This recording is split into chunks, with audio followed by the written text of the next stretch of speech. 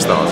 I want to sign four or five big names, and I want to sign a dozen, you know, real good either world champions or guys that are on the verge of world championships, and then I want to sign half a dozen young American stars that I can really grow and build. Are there any fighters that stick out in particular in America, like two or three that you just absolutely want to sign? That you feel Deontay you could- Wilder, Mikey Garcia, Charlos, Errol Spence, Keith Thurman, Adrien Broner. I don't know.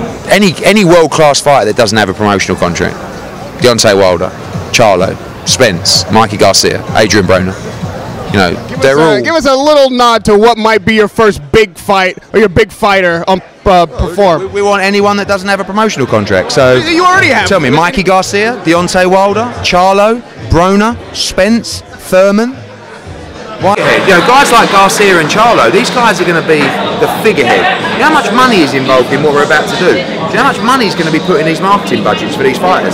These guys are going to be everywhere across the US. But the ones that get in, I'm having to make five or six offers a day because people are saying to us, make me an offer.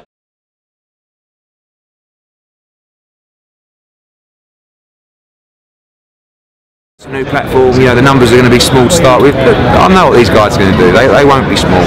But more say, oh yeah, but it's you know it's a start-up. The numbers will be small at the start. Listen, trust me, with this type of money, the numbers aren't going to be small for very long. We just feel like with deals like this and with the quality we're going to be putting on, it's going to happen a lot quicker. You know, we've got 16 shows now. We have a bigger budget than HBO and Showtime probably put together annually. That's where we're at right now. And you know how good I am, Raheem. With that sort of money, I'm damn good, right?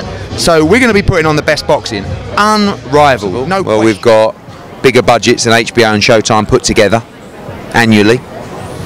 So I shouldn't really fail. Hey, what does Hearn know about the US market? He's just done the biggest deal in boxing history, not just in American history. And he's going to come in like a whirlwind and make these guys stars. Watch. But we're only as good as the platform that we've got and the backing and the rights fees that we've got. So now we're really fucking good.